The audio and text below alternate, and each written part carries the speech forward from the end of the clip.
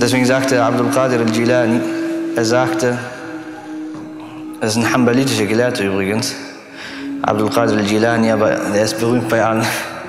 Äh, er sagte auf jeden Fall, er sagte, mir hat sich ein Fenster geöffnet in Bezug auf die Bestimmungen Allah Ta'alas. Hm? Also er meint mit dem Fenster eine Erkenntnis.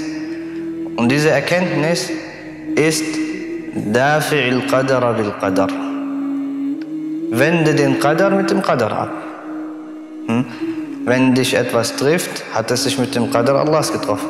Wende es mit dem Qadar Allahs wieder ab. Drehe es um. Genauso wie der Hunger ist vom Qadar Allah oder nicht? Hm?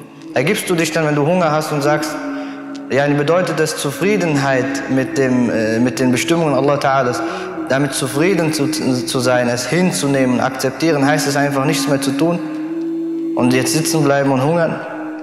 Du wirst diesen Qadar, wirst du abwenden durch einen anderen Qadar, durch das Essen. Durst ebenfalls. Wenn dir zu heiß ist oder zu kalt ist, das ist alles Qadar und Qadar. Du wirst es aber lindern oder abwehren, indem du dich entsprechend ankleidest. Auch Qadar, versteht ihr? Deswegen als ein, ein Räuber in der Zeit von Umar er sollte bestraft werden für seinen Diebstahl.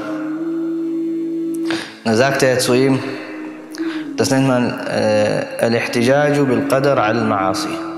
Das ist nicht legitim. Dass man den Qadar als Vorwand nimmt für seine Missetaten, für seine Sünden, die, die man begeht.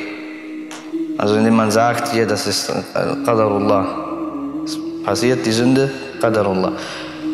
Es ist Qadar, ja, aber du darfst es nicht als, du darfst es nicht als Vorwand nehmen. Und deswegen sagte dann, äh, er wollte sozusagen die Strafe von sich abwenden dadurch.